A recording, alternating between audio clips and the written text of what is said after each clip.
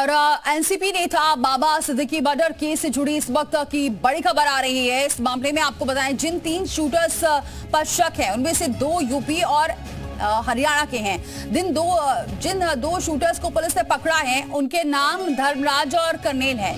सूत्रों के मुताबिक इन दोनों शूटर्स को पंद्रह दिन पहले ही 9 एमएम की पिस्टल दी गई थी।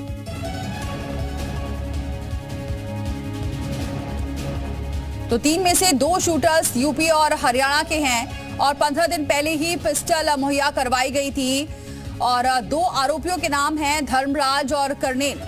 अब हत्या के पीछे कौन है, इसके बारे में लगातार अब जाँच की जा रही है। तीन गोलियाँ लगी थी और मर्डर के पीछे क्या लॉरेंस बिश्नोई का हाथ है, ये भी सवाल उठ रहे हैं।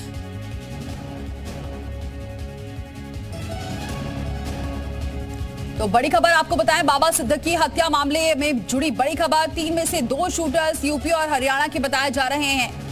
पंद्रह दिन पहले पिस्टल मुहैया कराई गई थी। तो ये आपको तस्वीरें दिखा रहे हैं। इसमें सवाल बहुत सारे उठ रहे हैं कि क्या लॉरेंस बिश्नोई का इसमें हाथ है? लॉरेंस ने ऑर्डर दिया था।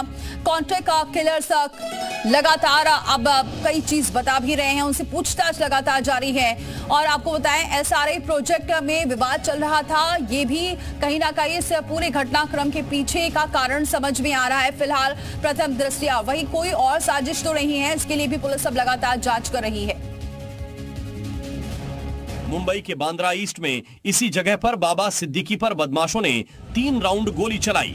वारदात रात करीब साढ़े नौ बजे हुई। इस जगह पर बाबा सिद्दीकी के बेटे जीशान सिद्दीकी के दफ्तर है। बाबा सिद्दीकी अपने बेटे के दफ्तर से निकलते थे।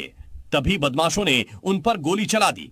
जानकारी के मुताबिक आरोपियों ने बाबा को बिल्कुल करीब से गोली मारी। बाबा सिद्दीकी को मुंबई के लीलावती अस्पताल ले जाया गया, जहाँ पर उन्होंने दम तोड़ दिया। पुलिस ने कहा है कि हत्या के लिए 9 एमएम पिस्टल का इस्तेमाल हुआ। पुलिस ने दो संदिग्धों को गिरफ़्तार किया है। तीनों के ऊपर कड़ी कार्रवाई हो जाएगी। कानून व्यवस्था बनाए रखने के लिए सरकार पूरी तरह ऐसे आरोपी, ऐसे गुनेगारी को वहाँ पर रोक लगाएँगे और ये केस भी जो है फास्ट ट्रैक के में ली जाएगी और जल्द से जल्द इनके ऊपर कार्रवाई होगी। मुंबई पुलिस की क्राइम ब्रांच अब इस बात का पता लगाने में जुटी है कि हत्या किसने और क्यों कराई। जाँच के लिए मुंबई पुलिस यूपी एसटीएफ और हरियाणा के सीआईए के संपर्क में है।